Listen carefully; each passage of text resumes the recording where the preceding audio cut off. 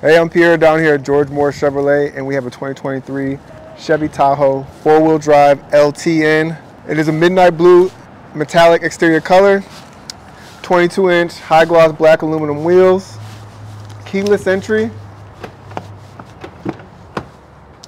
jet black interior leather, power seats, power windows, power mirrors, and memory seating for up to two.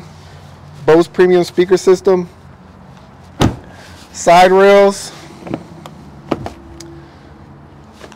up to seven seating with bucket seats, custom tailored all-weather mats throughout the vehicle, rear climate control, and two USB-Cs in the back. Automatic lift gate.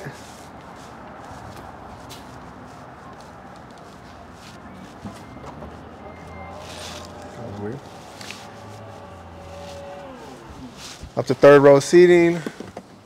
120 outlet right here. Extra storage space underneath here.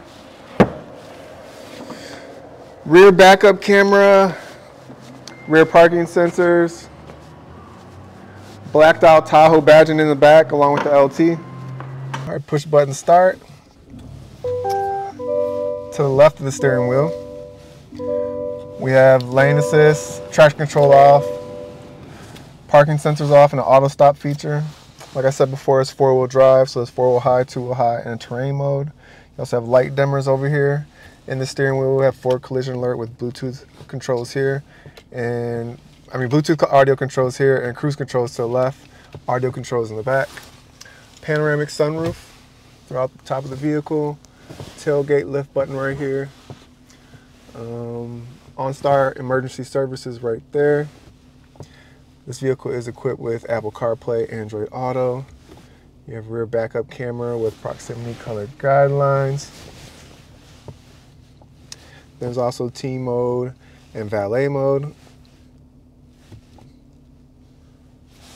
All right, there's heated seats, climate control, USB-C, USB, and a 12 volt right here.